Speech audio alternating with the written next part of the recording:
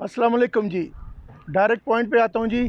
40 बसें, हर बस में 20 से 25 हाजी होंगे। यानी आप लोग अंदाज़ा लगा सकते हैं कितने हाजी होंगे। और उन लोगों को मिना में खेमों में नहीं रखा जाएगा, बल्कि ये जो टावर्स देख रहे हैं, इन टावर्स में रखा जाएगा।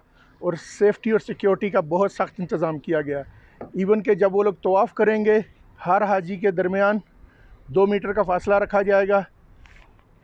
काफ़ी इंतज़ाम सख्त किए गए हैं। इवन के अरफात में भी इसी तरह हर एक नौ मीटर का फासला हर हाजी के दरमियान होना चाहिए। अरफात में जो ख़ास तौर पे किया गया यहाँ पे जमरात में भी ग्रुप की शक्ल में आएँगे कंकरियाँ मारने के लिए और कंकरियाँ पैकेट में दी जाएँगी सैनिटाइज करके दी जाएँगी। बहुत सख्ती है। तो भाई जो लोग सोच रहे हैं कि बग़ैर तसरिया के आकर कर सकते हैं, वो सोचें भी ना। बहुत मुश्किल होगी आपको।